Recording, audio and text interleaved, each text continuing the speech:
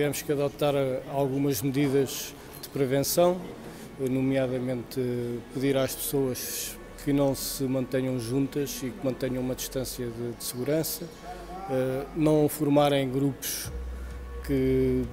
estejam mais de duas ou três pessoas,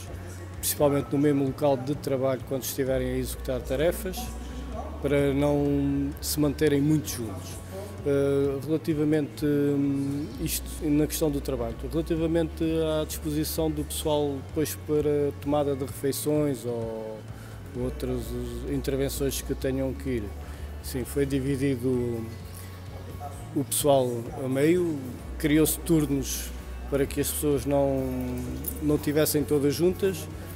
em que uns vão primeiro que outros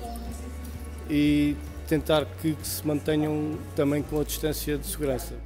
Basicamente, é assim, as pessoas têm estado a colaborar com, com, as, com aquilo que lhes tem estado a ser pedido e temos tido, tentando manter a rotina da oficina o melhor possível